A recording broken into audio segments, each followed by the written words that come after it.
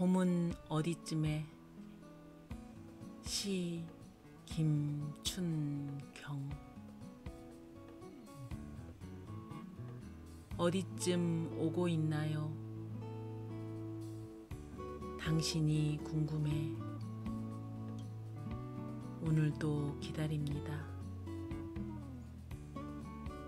혹시 저만치 오는 중이라면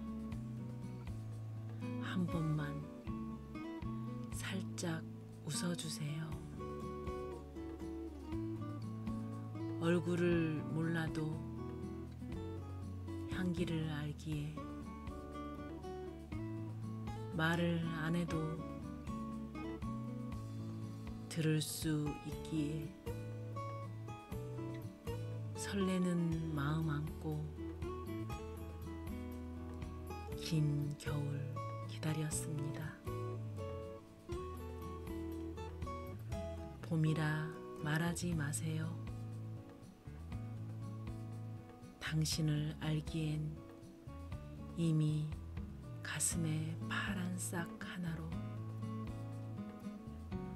눈동자에 맺힌 꽃잎 하나로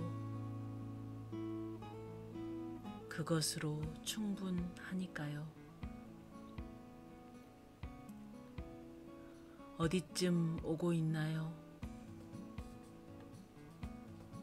오늘은 당신 오는 길목에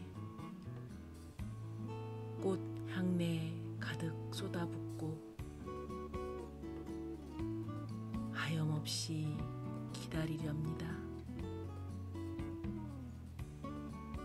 행여 저만치 오는 중이라면